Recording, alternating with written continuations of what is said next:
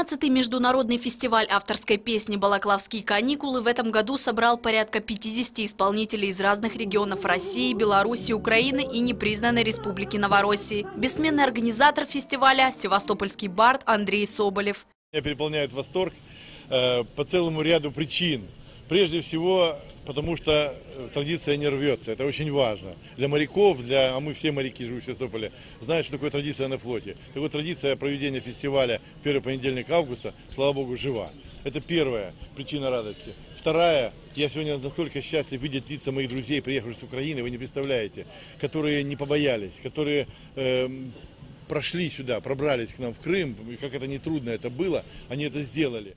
Юбилейный фестиваль проходит под патронатом губернатора Севастополя и при поддержке полномочного представителя президента Российской Федерации в Крымском федеральном округе. Все делается на энтузиазме, на энтузиазме тех людей, которые здесь стоят на сцене, которые сидят здесь под открытым нашим небом, на энтузиазме тех людей, наших севастопольцев, которые ходят по улицам нашего города. Поэтому пока есть этот энтузиазм, пока есть вот этот дух, вот, мы с вами непобедимы.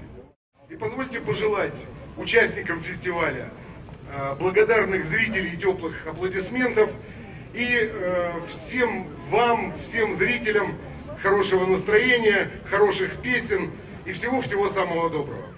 Среди почетных гостей создатель группы «Ласковый май», он же генеральный продюсер фестиваля Андрей Разин. По его словам, уже со следующего года «Балаклавские каникулы» могут стать федеральным проектом и, как многие другие всероссийские песенные марафоны, финансироваться государством.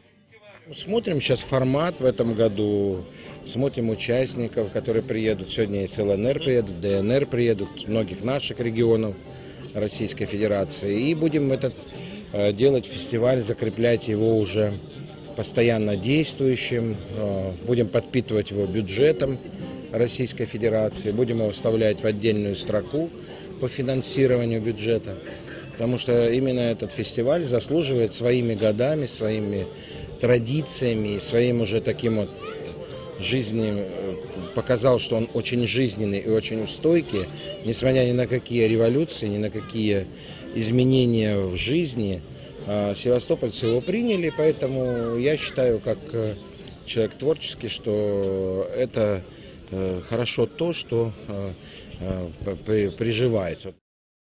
Открытие фестиваля состоялось сразу на трех площадках – Балаклаве, Орлином и на летней эстраде Приморского бульвара «Ракушка». 3 августа в центре Севастополя выступили более 20 исполнителей. Это российские, белорусские авторы и барды из Украины. В поддержку непризнанной республики Новороссии запланирован отдельный концерт во второй день программы. Свои песни участники фестиваля презентуют также на Херсонесе, 35-й батарее и в Артбухте. Заключительный гала-концерт пройдет 8 августа на площади Нахимова.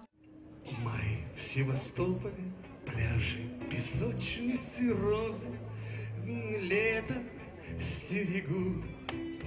В пышных нарядах девчонки, цветочницы, розы Здесь, на Приморском, где окна распахнуты, Блицы играют любители в шахматы, Но в ракушке места нет, Полный аншлаг на концерт Поют сегодня с главной сцены ветераны, Надев тельняшки, ордена на кителях,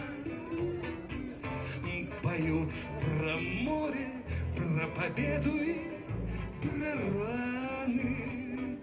Те, что забыть не в силах, крымская земля. Поют про море, про победу и про раны. Те, что забыть не в силах, крымская земля. Анна Брачева, Андрей Тымчук. Информационный канал Севастополя.